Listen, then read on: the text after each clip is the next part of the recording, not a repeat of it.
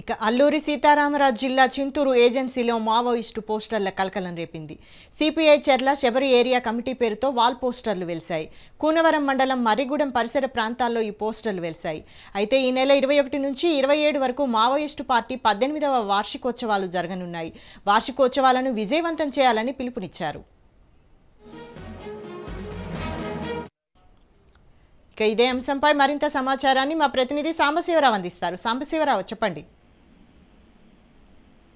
Agency ప్రాంతంలో మరోసారి పోలీసుల అలజడి ప్రారంభమైంది. అల్లూరు సీతారామరాజు జిల్లా చింతూరు అంటే ఇది తెలంగాణ నుంచి కొత్తగా ఆంధ్రాలో కలిసిన విలీన మండలం.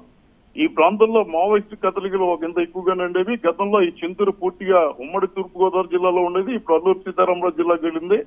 ఇలాంటి నేపథ్యంలో చింతూరు ఏజెన్సీలో మావోయిస్టులు కొన్ని పోస్టర్లు కరపత్రాలు రోడ్లపై జల్లడం కనిపించింది. కోనవరం మండలం మర్రిగూడెం ముత్యాలమ్మ గుడి పరిసర ప్రాంతాల్లో మావోయిస్టులు గోడపత్రాలు మొత్తం అంతా వాటిని అతికించడం జరిగింది. ఈ నెల ఇరవై ఒకటి నుంచి ఇరవై ఏడు వరకు పార్టీ పద్దెనిమిదో వార్షికోత్సవాలు జరుగుతున్నాయి. వీటిని విజయవంతం చేయాలంటూ CPI Charla Sabari area committee పేరున ఈ వారి పోస్టులు వెళ్తాయి గెరిల్లా ప్రజాయుద్ధాలను తీవ్రతరం చేస్తూ ఫాసిస్ట్ ప్రజా వ్యతిరేక విధానాలు ఖండించాలి. ముఖ్యంగా పోలీసుల దాడులు అరికట్టాలి. అమాయకులను మావోయిస్టులకు ఏజెంట్లుగా ఉన్నారంటూ పోలీసులు వేధిస్తున్నారు. ఇలాంటివన్నీ మానుకోవాలి లేకపోతే తీవ్ర పరిణామాలు ఎదురవుతాయంటే అందులో వారు హెచ్చరించడం జరిగింది. దీంట్లో ఈ కరపత్రాలు బయటికి రాగానే ఇటు తూర్పు గోదావరి నుంచి అదే విధంగా అల్లూరు సీతారామరాజు జిల్లా నుంచి కూడా పెద్ద ఎత్తున పోలీసులు వెళ్ళి అక్కడ మోహరింపు చర్యలు ప్రారంభించారు.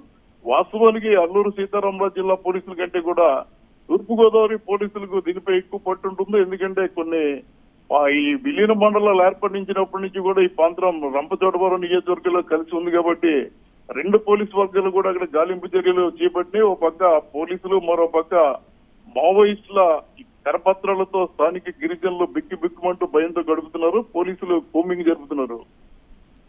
Right thank you